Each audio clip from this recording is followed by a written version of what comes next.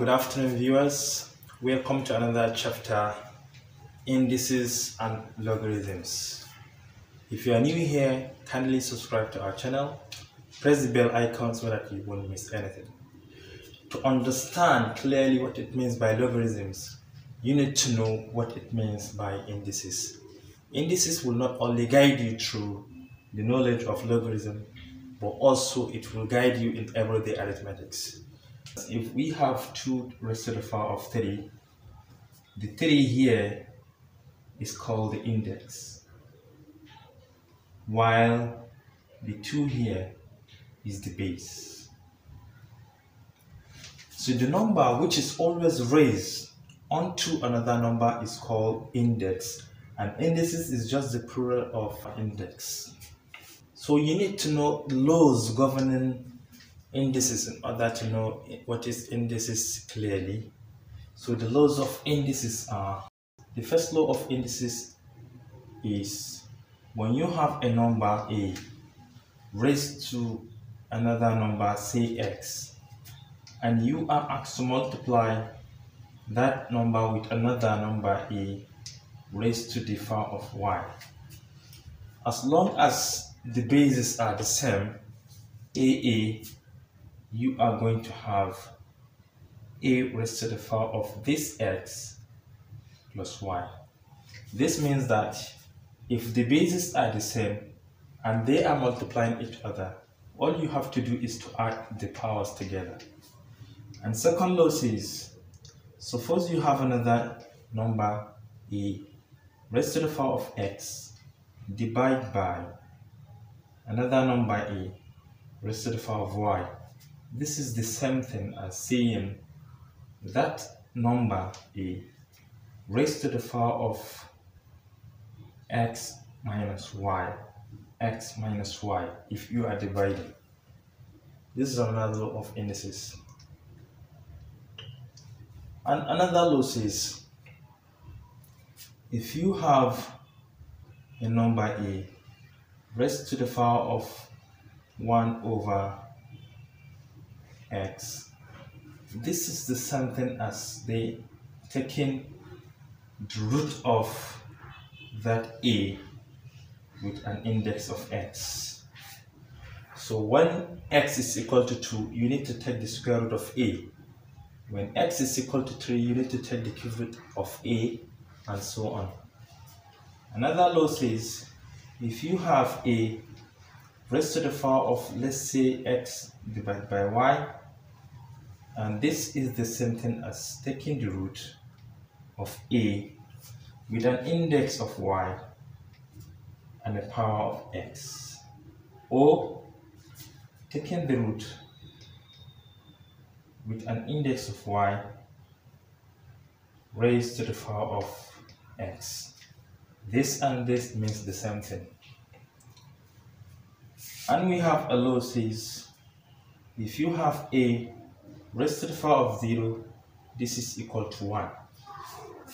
But we need to prove this because these ones are simple to understand. But we need to prove this. We're coming to that. So you need to know all these laws.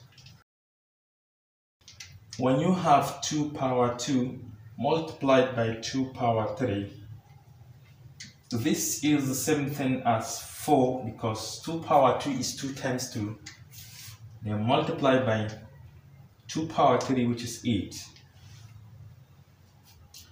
and 4 times 8 is 32 we need to prove it using the first law of indices.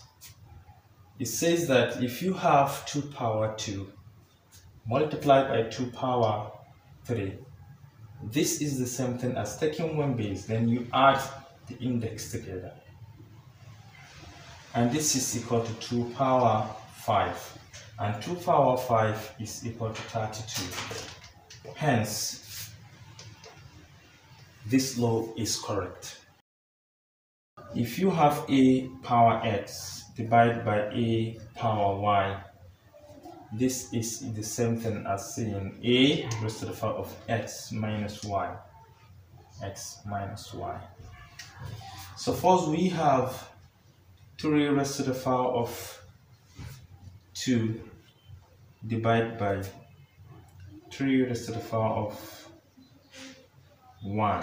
For example, this is the same thing as this will give us 9 divided by this is the same thing as 3 and 9 divided by 3 is equal to 3. Then from this law, if you have 3 power 2 divided by 3 power 1, this is the same thing as taking one base, then you subtract the powers. And this is 2 minus 1. And this is equal to 3 raised to the power of 1, which is the same thing as 3. 3 equals 3. Another law says if you have a raised to the power of 1 over x, this is the same thing as taking the root of a with an index of x. First we have 4 raised to the power of 1 over 2. This is the same thing as saying the root of 4 with an index of 2. And this is the same thing as what? Taking the square root of 4, which is equal to 2. And another one, if you have 8 raised to the power of 2 over 3, this is the same thing as taking root of 8 with an index of uh, 3 raised to the power of 2 and the cube root of 8 is just 2 raised to the power of 2 and this will give us 4 if if you decide to take the square of 8 first which is 8 power 2 over 3 which is the cube root of 8 squared this is the same thing as taking cube root of 8 squared which is 64 and the cube root of 64 is 4 so either way you have to get the same answer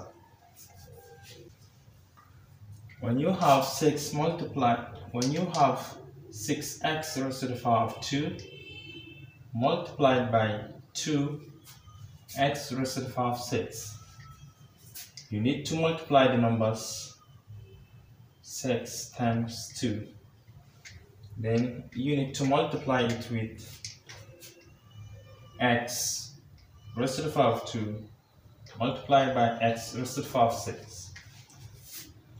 6 multiplied by 2 is 12 times 1x 2 plus 6 from the first law of indices and this is the same thing as 12 x raised to the power of 8 suppose we have 22 n power 6 divided by 11 n power 3